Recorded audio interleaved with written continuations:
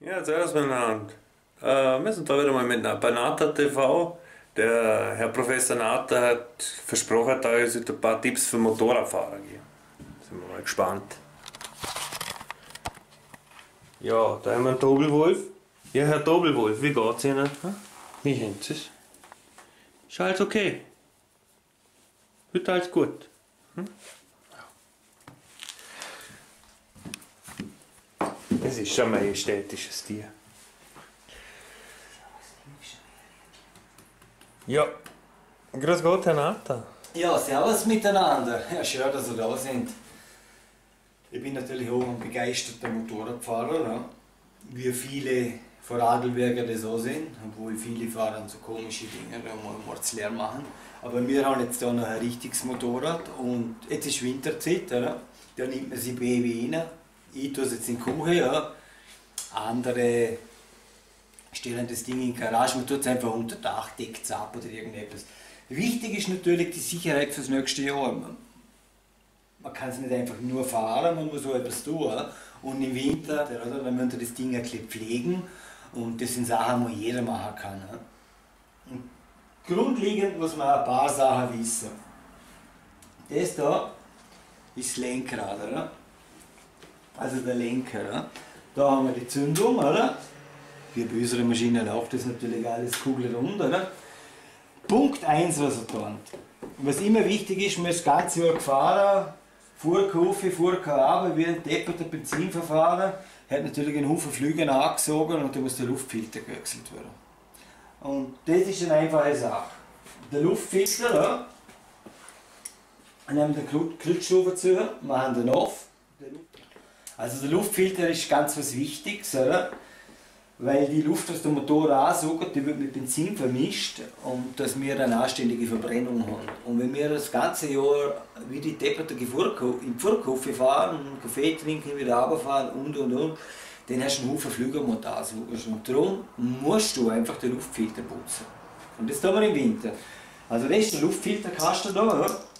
das weiß eigentlich normal jeder, der Motorrad fährt, oder? Zwei Kreuzschrauben Blam, Schrufen drauf, Deckel aber, da drinnen hat sich ein Haufen Schleim, das ist sehr wahrscheinlich Flü Flügerschleim, Muckerschleim und dergleichen ist da drin, da ist eine schmierige Flüssigkeit drin, die tun den Entferner altschön trocken ausputzen, dann tun da Watte rein und stiegen ein Stoffherzle zu, legen es oben auf und dann schrufen das wieder zu und dann haben wir einmal schon den Luftfilter geputzt. Also der Luftfilterputz ist ganz wichtig, oder?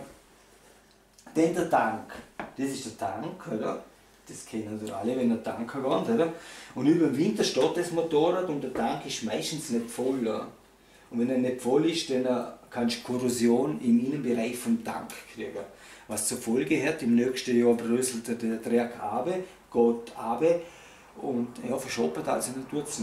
Folgedessen machen wir da auf, oder? Schlüssel, das war jeder, oder?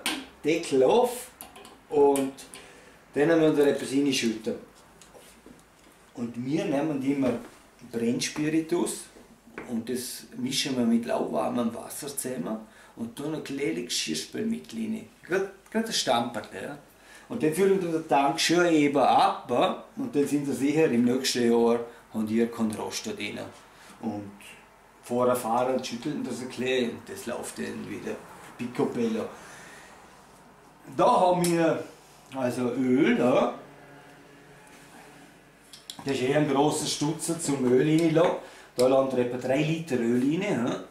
Und dann da nichts aufreden, dann nehmen wir Dieselöl. Als erstes ist es billiger und das ist viel besser. Ich immer Dieselöl rein, in den Stutzer, 3 Liter.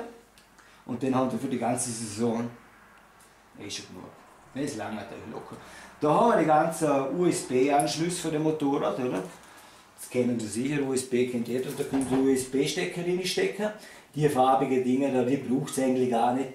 Die tun ich dann nachher raus und dann tun da ein USB rein und dann können wir da über die Lautsprechereinheiten auch wieder wunderbar Musik hören, wenn er umeinander brummt, oder? Und sonst kennen wir auch eh aus dem Motorrad, oder? Man Vorderbremse, Kupplung, Hinterbremse und da dann wird Schaltung. Oder?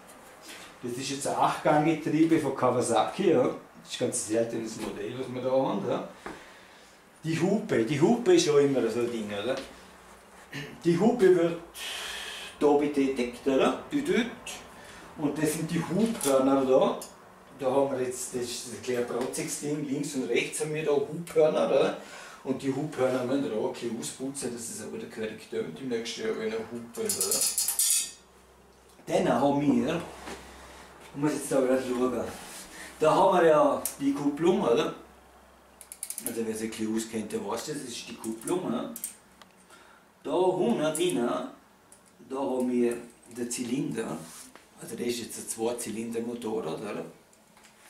Und da ganz hinter denen ist die Kupplung. Oder? Das Motorrad, wie ihr seht, ist ein Kardanantrieb, oder? Und da haben wir äh, Beifahrermöglichkeiten, also da kannst du zu dritt fahren, da kann eine aufhocken und da hinten kann eine aufhocken. Kommt das Alter drauf an, aber nach zwei der Blasen. Da. Ja, das ist das Computersystem, also das ist die Steuerung vom Motor. Da. Das ist quasi ein kleiner Computer, da, wo dann gleich auf die USB-Schaltung geht. Da. Das sind Rückspiegel, das kennen ihr alle. Ja. Dann ist noch ein wichtiges Thema die Reifen. Ja. Das ist natürlich auch eine, eine Legende, das mit dem Profil. Oder? Ich jeder, der im Motorsport ein zuschaut, der sieht das. Die haben ganz glatte Reifen. Und warum haben die ganz glatte Reifen? Weil die heben einfach besser auf der Straße. Und darum ist es auch eine Winterarbeit. Dann trage ich neue Reifen her am besten. Ne? Und dann haben wir da ein Kuchenmesser oder einen Schliefbock, irgendetwas. Und den schliffen wir das Profil schön ab, dass die Reifen richtig schön glatt sind. Jetzt dann da vorne und hinten. Und dann haben wir da optimale Grip. Ja, und das wäre das Wichtigste, was Sie selber machen können bei so einem Motorrad, oder? Und die jedem empfehlen, dass er das so macht, oder? Und ja, dann geht es auch wieder in eine neue Saison und ist alles picobello. Ja, vielen Dank, Anata. Das tun wir natürlich immer gern für euch.